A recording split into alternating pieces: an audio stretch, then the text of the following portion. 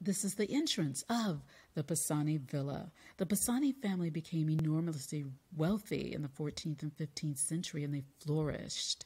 Upon flourishing, due to the fall and the collapse of the Republic in 1797, they were forced to sell this beautiful gem and they sold it to Napoleon Bonaparte in January of 1807. It had 144 rooms.